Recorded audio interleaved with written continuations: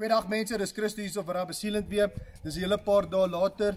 Ons het um how to bridge the gap met die um die sementblok en die Rabbe Sealant en die uh, membraan gedoen. Um ons gaan nou aan, dit is nou 'n hele paar dae later, dit het 'n bietjie gereën hierso by ons. So hier gaan ons julle wys as jy nou 'n bietjie nader kom, hy het nou 'n bietjie droër geword. Dit was nou binne die hele tyd.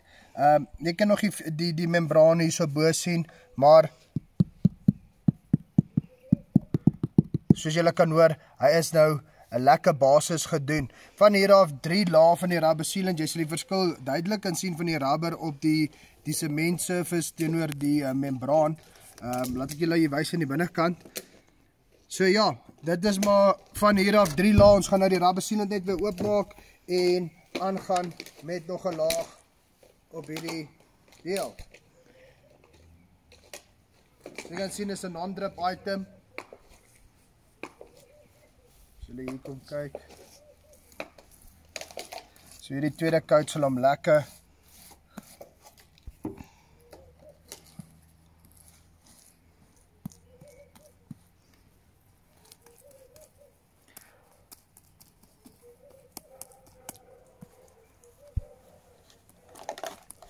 Ons het 'n spesifieke manier van ehm um, die rubber sealant doen nie.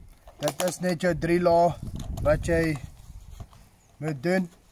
Dan net hierdie edging wat ons vir julle hier gaan doen, dat julle die verskil kan sien waar die membraan ophou en die sement by mekaar kom.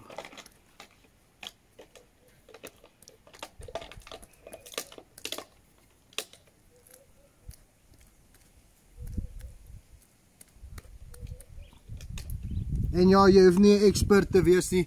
Soos julle kan sien, is baie maklik om met die rubber sealant te werk. Hoe sê ons die expert is in die blik? Jy moet net verf.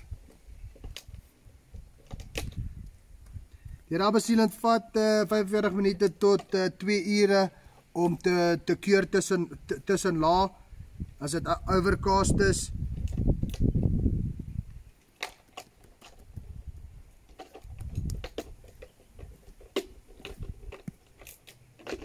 So hierdie applikasie van hier af, lekker 'n bietjie uh, as ek hom kan draai en alles, laat ek hom hier nou son toe skuif.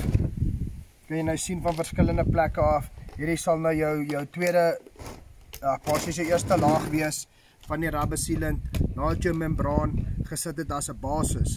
So drie lae van hier af en dan sal jy sorry, dan sê jy nou die uh, verskil sien van hoe ons hom gaan finish. Ek gaan nou net nog 'n laag hier voor sommer ehm um, heel vooraan verf.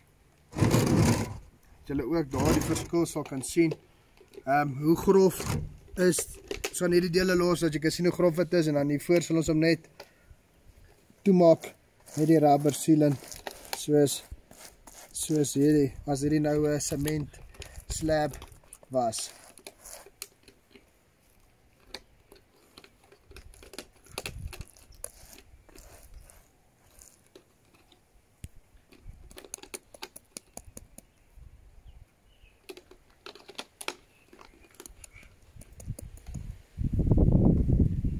Daar's mense in hierdie is how to bridge the gap op um, op groot areas as jy membraan wil gebruik saam met die rubber sealant. Onthou jy druk altyd jou jy maak jou uh, membraan bietjie nat of jou cloth soos hulle sal sê maak jy bietjie nat. Jy druk hom in die rubber sealant in en dan apply hom en van daar af doen jy jou 3 laag. Baie dankie hou die kanaal dop. Ons gaan uh, die volgende ene doen. Totsiens.